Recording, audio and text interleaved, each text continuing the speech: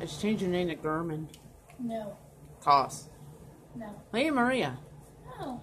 Uh, Commander. Commander Gurman? No, Commander Cocyx.